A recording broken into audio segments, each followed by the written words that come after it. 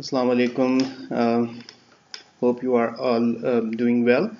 And last time uh, we discussed uh, the upper respiratory tract infections in children, and this time uh, we will discuss the uh, lower respiratory tract infections or pneumonias in children. So I am uh, Muhammad Awais and one of the assistant professors in Akhtar Saeed Medical College in Pediatric Department.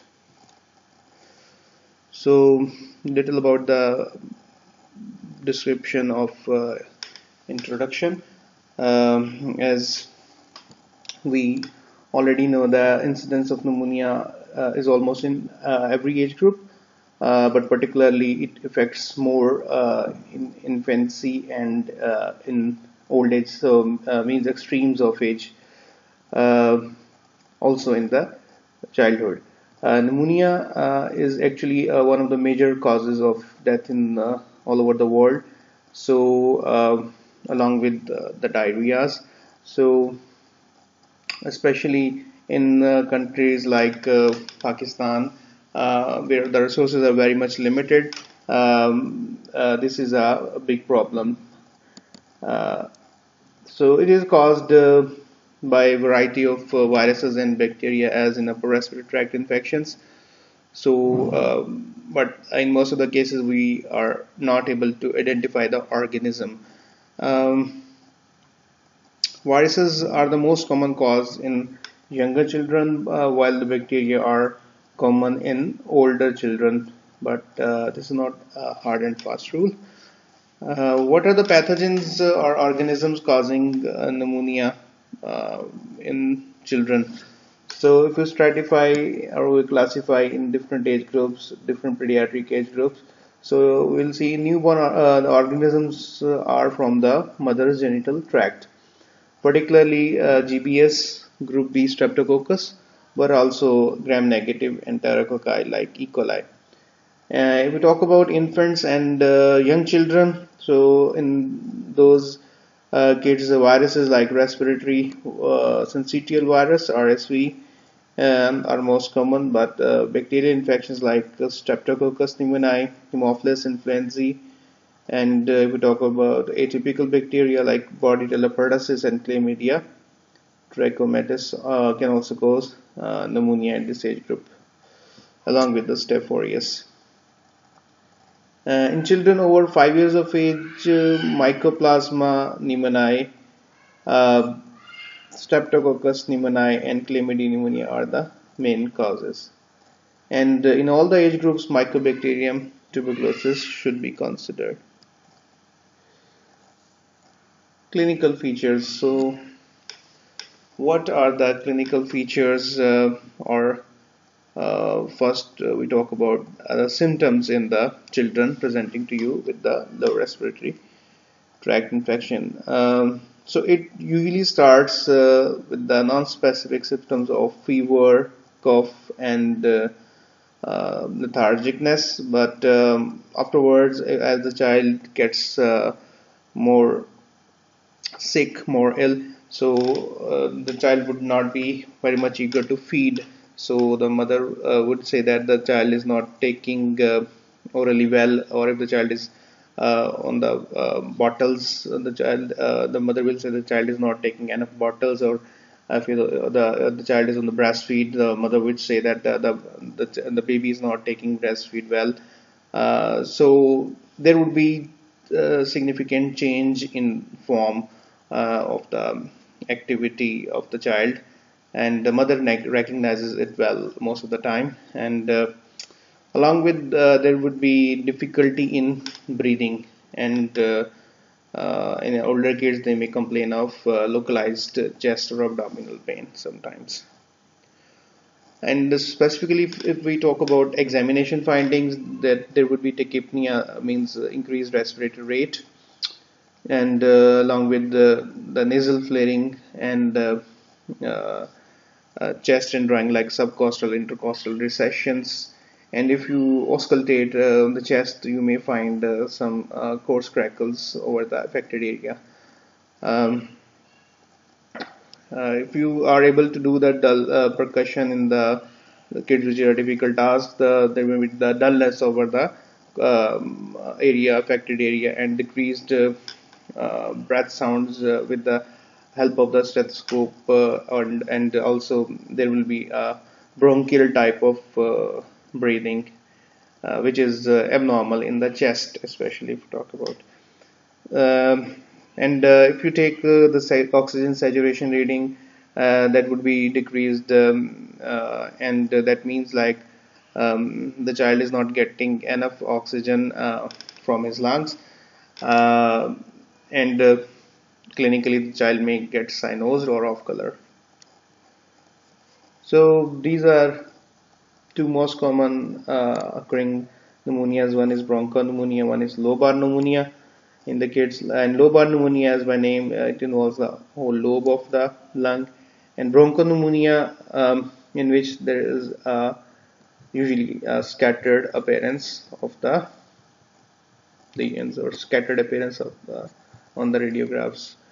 So this is the uh, one patch of consolidation and these are little bit scattered areas of consolidations so if we compare lobar pneumonia with bronchopneumonia uh, and interstitial pneumonia uh, the primary location of infection, if lobar, if we talk about lobar pneumonia, it is the in the alveoli, and uh, in bronchopneumonia, it is in the airways like bronchi, and in interstitial pneumonia, it is within the within the interstitium of the lungs. If we uh, look at the X-rays of different kinds of pneumonia, there would be dense uh, consolidation patch, as we already uh, have seen in the last photograph. One lobe would be involved and in which we can uh, see the air bronchograms on the chest x-ray especially. Um, so these are these would be the consolidated consolidated uh, airways uh, um, and uh, in bronchopneumonia the, the same uh, thing will be uh, there but in the form of patchy opacities in chest x-ray. And in interstitial pneumonia there will be diffuse hazy opacities and septal thickening. We talk about ultrasound pattern uh, the same the consolidation would be often ex extensive and sometime we may be able to find some uh, kind, of, of effusion parapneumonic effusion on the ultrasound as well. Um, and in bronchopneumonia uh, on ultrasound there will be patchy B lines and may have some consolidation so uh, if we uh, go for the microbiology uh, in most of the cases of lobar pneumonia, the cause is Streptococcus pneumoniae, but other organisms can also give uh, lobar appearance of the lungs on the like Klebsiella and Legionella. In bronchopneumonia, uh, the causative organisms most likely uh, would be wide variety of atypical organisms like Mycoplasma, Chlamydia, Pseudomonas, and sometimes Staph aureus. Interstitial pneumonia are due to some uh, viruses and uh, PJPs like uh, pneumocystic, uh, pneumocystic uh, pneumonia and uh, mycoplasma. If we go for investigation, uh, chest X-ray may confirm the diagnosis, but with the exception of the classical uh, lobar pneumonia, uh, characteristic, which is the characteristic of streptococcus pneumoniae, chest X-ray uh, cannot differentiate between bacterial and viral pneumonia. So even if it is uh, lobar pneumonia, there is likely possibility of streptococcus, but uh, we can't say 100% that it is streptococcus pneumoniae because we need to confirm it uh, on the blood cultures. So this is the classical presentation of lobar pneumonia. This is a chest X-ray of a child, and this is the cardiac shadow, and these are the lung fields. If you see this side, left side is uh, okay relatively and the right side if you see there is a white opacity on the um, upper zone of the chest x-ray and this is involving the whole upper lobe of the right side of the chest right side of the lung and uh, if we see closely uh, there were there along with the homogeneous opacities there is some air bronchograms these black areas and uh, this border of uh, the heart is obscured it is called silhouette sign so these all all the these are all the radiological findings in the consolidation or pneumonia in younger children a nasopharyngeal aspirate is useful to identify viral cause like in uh, uh, respiratory syncytial virus and bronchiolitis. Uh, sometimes we uh, offer uh, nasopharyngeal aspirate and when we uh, we do the examination sometimes we would be able to identify respiratory syncytial virus but uh, like blood tests and including full blood count and acute phase reactants uh, like CRP are generally un unhelpful in differentiating between viral and bacterial cause. And uh, blood culture is useful, but unfortunately it is not present in all of the cases of the affected patients uh, like if 100 patients uh, are actually affected with the uh, pneumococcus we may have some 34 40 percent um, blood culture positive in that kids only. But the disease would be in rest of 70 to 40 percent as well. So blood culture definitely confirms but if the blood culture is negative that, that doesn't mean that the uh, infection or the bacterial infection is not there Complications, uh, which what could be the complications of pneumonia? Small proportion of pneumonias are associated with a pleural effusion, uh, where there may be blunting of the costophrenic angle of the chest X-ray. Costophrenic angle is the angle uh, between the ribs and the diaphragm. Some of these effusions develop into the emphysema, uh, empyema, sorry, so empyema that may get secondarily infected the effusion so that may be the, you can say the pus uh, inside that uh, area. And uh, fibrin strands may form uh, leading to septations which make drainage difficult. Ultrasound of the chest uh, will often distinguish between effusion and empyema so this is the chest x-ray showing lobar pneumonia most likely. And this is the uh, costophrenic angle which is obliterated although the cardiophrenic in this is also obliterated. So this is the uh, effusion uh, inside the right side of the lower chest. How we will manage the cases of uh, pneumonias in children? Most cases can be managed at home. Uh, like if they don't need oxygen or they are uh, not very severe. But indication for admission include oxygen saturation less than uh, 90 3% if you take uh, the saturation of the child the saturation would be less than 93% and the child would be cyanosed uh, these are the candidates for the uh, admissions. If there is kidney is out of proportion and if difficult there is difficult breathing along with if the child is early infant there would be some uh, funny sound like grunting sounds uh, due to air compromise. Or if the child is a newborn baby um, or early infant there may be pauses in the breathing and that are called apnea along with the bradycardia. Not uh, feeding or, uh, the child is not feeding well or the uh, family is uneducated and definitely and they are coming from far areas you need to keep the uh, baby inside the hospital at least for that particular night. Uh, in management there are general supportive care uh, like include oxygen for hypoxia and analgesia if there is any pain or fever uh, we should maintain the uh, hydration uh, or if not uh, the child is not taking orally then we need to give nasogastric uh, feeding and if the child is not able to take nasogastric then we need to give IV fluids and physiotherapy has got no role. The choice of antibiotics is determined by the child's age, severity of illness and appearance on the chest x-ray. Uh, definitely after blood culture depends upon the uh, organism uh, of the causative organism as well.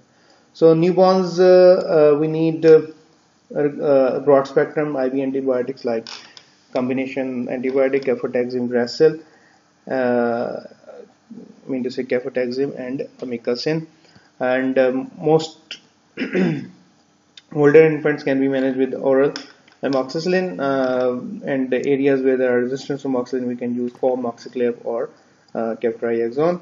And for children more than 5 years of age um, either amoxicillin or an oral macrolide such as erythromycin or clarithromycin. If the child is allergic to penicillin we can also give clarithromycin or erythromycin.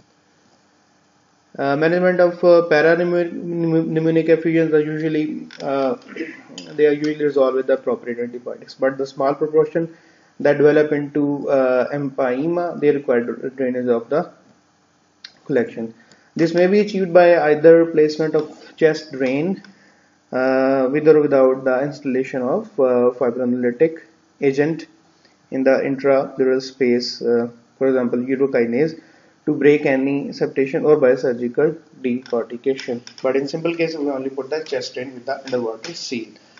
Uh, practices uh, may vary between different centers of the same countries as well. So prognosis uh, is generally good. Follow-up is not generally required for children with simple consolidation on chest X-ray and who recover clinically. Those with evidence of uh, lobar collapse, atelectasis or empyema uh, should be having a repeat X-ray after 4 to 6 weeks. And virtually all children with pneumonia, even those with empyema, make a full recovery. What is the prevention? Uh, first uh, prevention is definitely hygiene, nutrition, and then uh, vaccinations are available. A conjugate vaccine Prevnar with immunogenicity against 13 of the most common types, uh, serotypes of Streptococcus pneumonia responsible for invasive disease and uh, is now included in the routine immunization schedule in the UK and in many countries. In Pakistan, there is also a conjugate vaccine uh, against pneumococcus we give in uh, EPI schedule. Uh, by EPI, I mean extended program of immunization of Pakistan.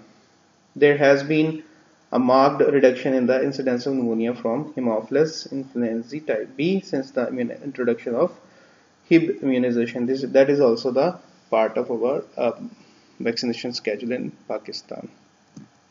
Thank you very much and if you have any questions uh, you may comment uh, underneath the YouTube uh, channel or you can uh, talk to me through Facebook as well. Thanks very much. Thank you.